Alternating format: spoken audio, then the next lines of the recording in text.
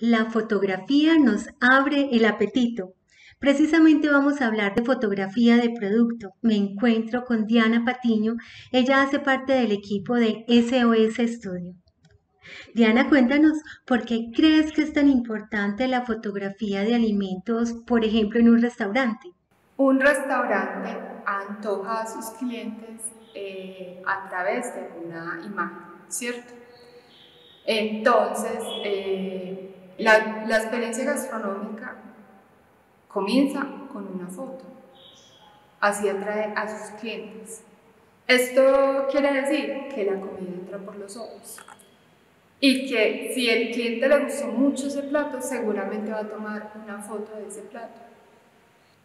Así que es posible que toda la experiencia gastronómica comience y termine con una foto. Y ahora cuéntanos cuál es el secreto para comunicar toda una experiencia gastronómica a partir de una imagen provocativa.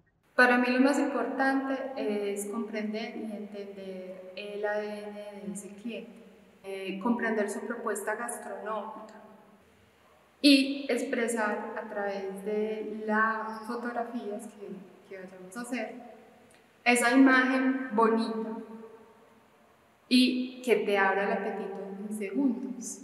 Y que las imágenes correspondan a lo que la gente va a experimentar cuando vaya a visitar el restaurante.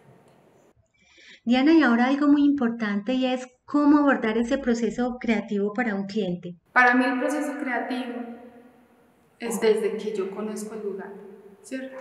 El, el plato al que me estoy enfrentando, ¿cierto? No es lo mismo fotografiar una hamburguesa a fotografiar eh, una ensalada.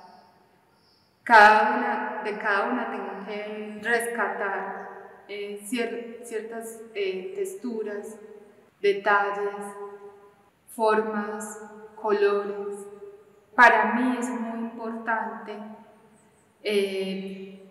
conocer el lugar, conocer la marca o la imagen pues, del restaurante porque eso también me ayuda a, crear como una idea en, la ambientación, en lo que puedo usar o no usar de elementos de utilería, para que esa imagen tenga unas dimensiones. Y todo esto mezclado hace que, que la imagen o la foto sea mucho más atractiva e interesante que simplemente pues eh, una, imagen eh, blanca y plana que puede estar bien, pero que, que simplemente no es muy llamativo.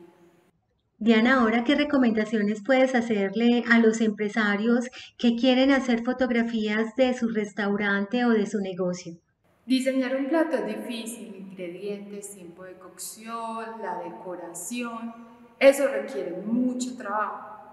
Yo que le digo a un empresario, venga, hagamos una foto donde transmitamos esa belleza de ese plato y todo el trabajo que requiere hacer ese diseño.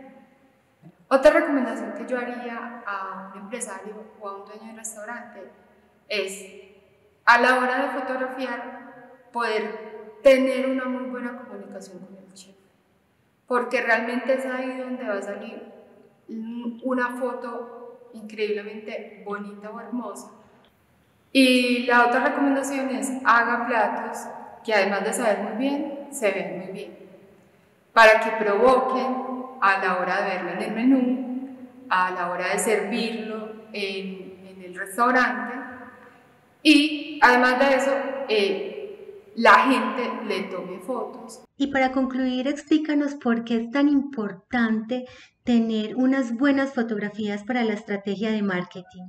Como decíamos, todo entra por los ojos. Es decir, eh, un cliente va porque le gustó una foto que vio en las redes sociales.